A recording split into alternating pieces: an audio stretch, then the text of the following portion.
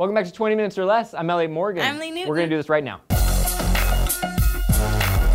If you're not familiar with DARPA, it's the Defense Advanced Research Projects Agency, and today it has released details of its Robotics Challenge program, which is basically an initiative that will award up to $34 million to improve robots for disaster relief. What's cool about this initiative is that although building a robot that specifically looks like a human isn't required, it is favored because a lot of the tasks in the challenge favor a humanoid form. The robots submitted should meet the following criteria. They should be able to drive. Duh!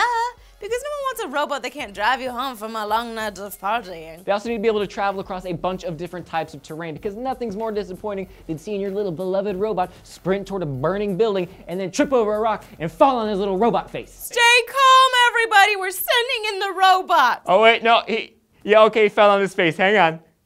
Stay calm. It should be able to move stuff out of its way or break stuff down with power tools, and it should be able to locate and fix broken pumps. They should be able to be operated by anybody, like a normal, everyday person. This challenge starts this fall and goes all the way until 2014. DARPA program manager Gill Pratt states, The key to successfully completing this challenge requires adaptable robots with the ability to use available human tools, from hand tools to vehicles. First of all, this is awesome. Secondly, this is a thing. Yeah, like this is actually happening. Our government is commissioning the people to create humanoid robots that will literally save our lives. And I know a lot of people are like, oh no, they're gonna take over and they're gonna turn on us. Okay, but that scenario is honestly like a solid 10 years down the road. And honestly, with the population boom and global warming and the Twilight series, we don't have much time anyway. Exactly.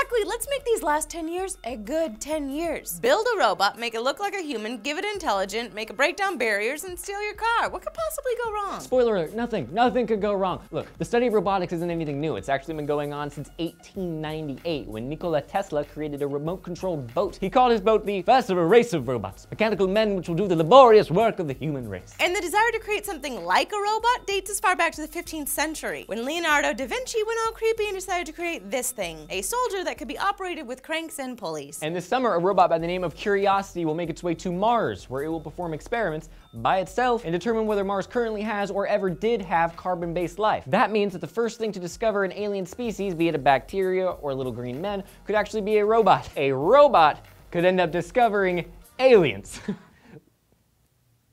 Okay, you know Oh, yeah, DARPA, maybe we hold off. hold off just hold off on the whole robot thing, with the aliens around the corner and the Terminator looking like it's gonna be really real. Maybe just hold off on the robot. Yeah, this yeah, necessary, definitely. This got really real. Yeah. Yeah. So with inventions like this just around the corner, are you a little worried that they might end up taking over the planet? Let us know in the comments section down below. Don't forget to click the like and subscribe button. Click the annotation down below. Go to sourcefed.com for our five daily stories and everything else you've ever done. I'm Lee Newton. I'm Elliott Morgan. Raylien, a robot alien. No, I don't like I it. I don't like it at all.